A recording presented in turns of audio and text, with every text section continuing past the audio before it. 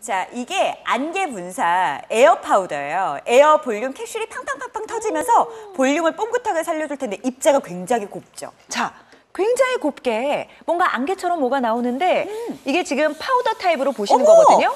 근데 이게 옷이나 머리에 올라왔을 때 하얗게 있는 파우더가 아니라 투명하게 자. 캡슐이 팡팡팡팡 터지면서 머리 손질하실 때 이렇게 다 투명하게 안쪽에 에어 캡슐 안에 들어있는 좋은 성분, 영양 성분, 에센스 성분, 볼륨 성분이 팡팡 터지면서 네. 머리는 딱 fix를 해주고요. 볼륨을 그대로 방방하게 살려주고 대신에 뭐 하나 보이지 않게. 근데 이게 바로 일반 캡슐이 아니라 에어 캡슐이기 때문에 맞아요. 가능한 거예요. 그러니까 네. 이게 볼륨이 세우는 건 쉬워요. 근데 금방 죽어버리잖아요. 그쵸. 근데 25시간이면 거의 24시간을 지나서 하루를 아예 지난 시간. 이 캡슐이 터지면서 이물감 남지 않게 뽀송하게 봉긋하게 살려주는데 이 뿌리부터 잡아주는 그러니까. 그래서 여러분이 쓰던 뭐 왁스나 아니면 여러분 이 쓰던 스프레이나 헤어 미스트나 요런 개념이 아예 아니고 아니에요. 그냥 뿌리부터 시작해서 우리 모발에 있는 볼륨만 얘가 아주 가볍게 구름처럼 방방하게 세워주는 거더라고요. 네. 맞아요. 네, 그리고 파도 파우더 제형이라서요.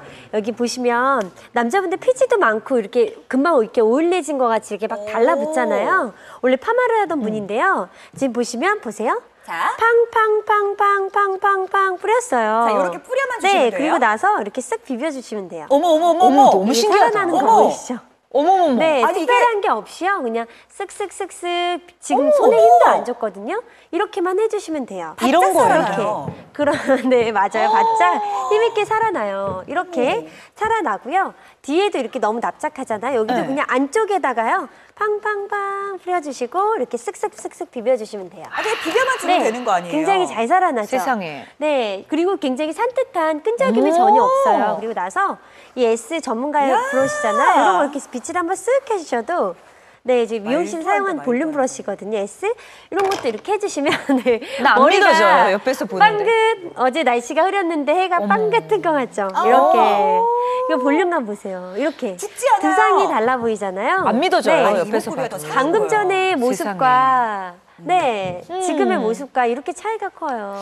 그러니까 이렇게 왜 네. 다운펌 하시는 남성분들도 있어요. 머리가 하도 그 뻣뻣하고 뻗치는 우리 남성분들. 그러면서 정수리 그냥 납작한 분들. 네. 정수리부터 앞머리까지 그냥 살릴 땐 다 살리고 이렇게 볼륨 있게 맞아요. 가을철에 새로 맞춘 양복, 수트도 이런 머리 네. 해야 이렇게 폭이 나지 바람에 않겠어요? 하늘하늘 움직이지만 이렇게 딱 잡아 잡혀 세상에. 있기 때문에 아니 네. 이물감이 없어요. 왜 우리 맞아요. 무스 같은 거 뿌리면 과자처럼 변하잖아요. 그 딱딱하게. 스프레이가 딱딱해서 냄새 나서 싫거나 아니면 에센스가 그 오일리해서 왁스나 그런 게 기름진 느낌 때문에 싫어하시는 분들은 특히 이 산뜻한 느낌을 굉장히 좋아하세요. 한올한올에 네. 힘이 살리는 것 같아요. 뿌리부터 끝까지 뭔가 볼륨이 뻥긋하게 살아나면서 이게 열기구를 댄 것도 아이고, 아니고 아이고. 구루뽕을 만 것도 아니고 칙칙 뿌렸는데 비벼만 줬어요. 그냥 가을바람 싱 하고 불어도요 꺼지지 않는단 말이에요. 않아요. 그대로 유지가 되고 오히려 자연스럽게 볼륨이 살아 있습니다. 음. 힘없이 처지는 모발이라든지 나는 머리가 좀 생머리인데 조금 곱슬기가 있으면 좀 잘 되지 않을까?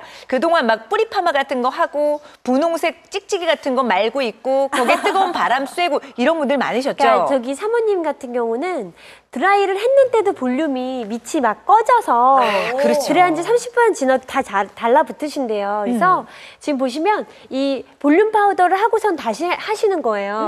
또 어떻게 달라지는지 보시면 무엇보다 굉장히 쉽고요. 지금 볼륨 필요한 부분에 이렇게 거울 안 보고 그냥 대충대충 분사하시잖아요. 하시는 거예요. 네. 그리고 나서 쓱쓱 비벼주시면 정말 이렇게 쏟아지는 머리 때문에 고민하셨던 분인데 네. 이렇게 산뜻하게